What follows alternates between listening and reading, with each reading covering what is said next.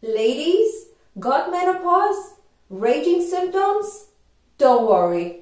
There are at least seven menopause symptoms that you can reverse with a diet. Hi, I'm Dorothy Adamiak, former board certified naturopathic doctor, author of five books, and the creator of Using Proportions Blueprints. So you can finally get an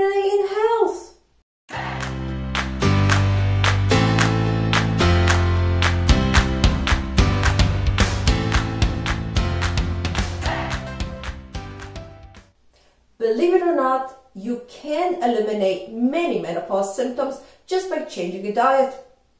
Today, you're going to discover which four out of these menopause symptoms can be reversed naturally with simple lifestyle changes. First, a minor shocker. Did you know that many of these so-called menopause symptoms aren't due to menopause at all, but due to other conditions these other conditions only get magnified by the hormonal changes. So when you wake up one morning with joint aches out of the blue and think it's menopause, stop. It may not be menopause. It may be just your diet. Joint pain is one of those seven menopause symptoms that are not caused but only magnified by low estrogen. You can fix your joint aches hair loss, and other menopause symptoms just by paying attention to what you eat. So let's not waste any more time and let's fix those annoying menopause, stomach bloats, and anxieties. Here's menopause symptom number one, weight gain. Every woman agrees that weight gain is the biggest menopause nuisance because menopause weight gain is not just any weight gain, it's hormonally driven. During menopause, estrogen goes down and that gives rise to an androgen. Androgens differ from estrogens in the way they distribute fat in the body. While estrogens give curves by accumulating weight on the buttocks and the thighs, androgens ruin the curves by piling fat on the belly. But even though androgen dominance isn't fun, it's not a problem unless paired with metabolic ill health. Only when the two, androgen dominance and insulin resistance get together, menopause weight gain becomes a nightmare. The problem is that insulin resistance is widespread among menopausal women, but very few know that they have it. Insulin resistance is not routinely tested, so don't expect your doctor to tell you about it. You have to actually take matters in your own hands. You should suspect it if your belly fat is firmly stuck despite dieting. How to test for insulin resistance and how to reverse it is covered in another video. Please have a look. Insulin resistance is reversible and when corrected, it can dramatically make menopausal weight gain easier to deal with. A good starting point is a low carb diet that emphasizes on real and whole foods. Such diets produces the fastest weight loss, correct insulin resistance in record time, and lead to overall healthier physiology. Don't bother with crash diets.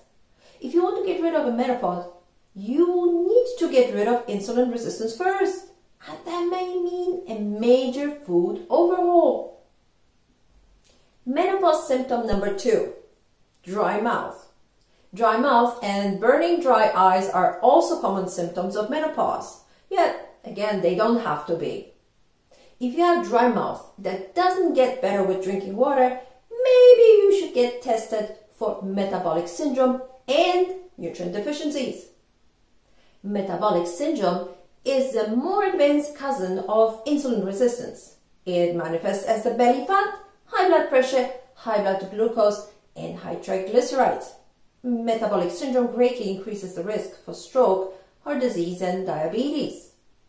The good part is that in order to reverse metabolic syndrome, all you need to do is to focus on one thing, bringing insulin sensitivity back into the tissues. And yes, you can. For that, you have to remove foods that cause or contribute to insulin resistance, such as ultra-processed foods, polyunsaturated fats, and highly refined food products. To restore nutrient reserves, look for foods that contain phytates. Phytates block nutrient absorption, and contribute to nutrient deficiencies that make dry mouth worse. Phytates can significantly reduce absorption of iron, zinc, magnesium, and calcium. Why did I mention these nutrients? Because low iron, zinc, and calcium has been found to be strongly linked to mouth dryness. Is your diet full of phytates? Let's see. Do you eat grain products such as bread, pasta, waffles, or cereals? Do you snack on sunflower seeds? Do you love almonds? Do you eat bean salads and soups? Grains, beans, nuts, and seeds are high in phytates. If you have dry mouth, give those foods some rest, especially if they already come processed. Menopause symptom number three, anxiety. Every fifth woman experiences frequent anxiety. And even though menopause may make anxiety worse, studies are firm that anxiety is strongly linked to a diet.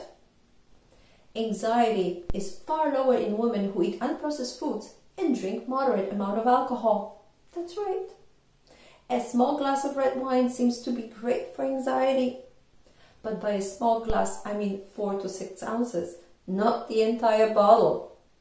Quantities do matter. Uh, when it comes to alcohol, more is not better. What nutrient deficiencies is anxiety linked to? There are quite a few.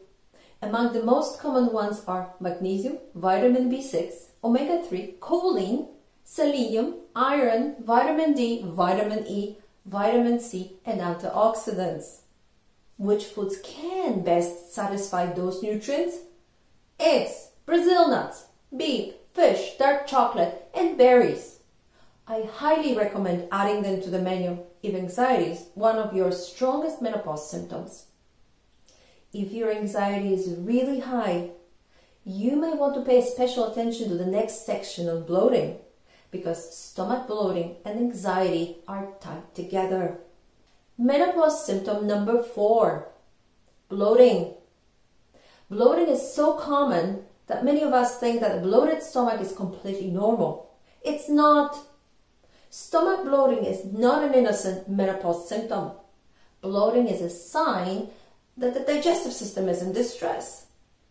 Hormonal shifts during menopause do not cause bloating. They only make it worse. And of course, stomach bloating can be triggered by foods. But which ones? Although some foods are known to bloat more than the others, every one of us reacts to foods differently. To know what bloats you, you need to keep a diet journal. Once you figure out which foods are your stomach's enemies, strike them out of your menu. All of them. Even if they are on the healthy food list. Why? Because bloating food can contribute to anxiety and depression. And you need to know if this is the case with you. So, how is the gut and mood related? The gut bacteria produce neurochemicals and these neurochemicals regulate mood and cognition. So a happy gut can make you happy, and a stressed gut can mess up your mind. Just look how many mood-making chemicals the gut is producing. Here are the main four. GABA, serotonin, dopamine, and melatonin. What do they do? GABA is a calming neurotransmitter. It makes you feel less anxious. Serotonin is a feel-good molecule. Serotonin boosts your confidence. Dopamine is a pleasure messenger. With dopamine, you feel good and feel rewarded. Melatonin is a sleep hormone. It produces a deep, refreshing sleep. If your gut bacteria are off, which often happens with bloating, your mood will also be off. That's exactly why many IBS victims also suffer from anxiety, depression, and high psychological stress. The key is not to medicate the anxiety, but to look at the diet and remove the foods that cause an imbalance to the gut bacteria instead. I had a personal experience with this. For years, I was bloated, depressed, and had foggy brain. The symptoms were so bad that I tried numerous diets and supplements to get rid of them but I saw no results. Gave up thinking that my poor health is due to poor genetics. But then years, or rather decades later, I had a personal experience that made me run an unusual experiment. For some time, I avoided all foods that cause bloating, even if they were on the healthy food list, like cauliflower or apples, which I never did before. What happened? My stomach bloat disappeared and depression disappeared together with the bloat. When I introduced the bloating foods back into my diet, my depression came back. I tested many foods until I realized that the bloat and depression do go together. What exactly happened, what foods were at fault, and what stages I went through is a topic of another video. Press subscribe not to miss it. In the meantime, I want you to know that there is a whole list of menopause symptoms that can go away with a diet or a lifestyle change. If you want to know more, subscribe to see the next video. It will be on the solutions to another three common menopause symptoms. Joint pain, hair loss, and fatigue. See you then!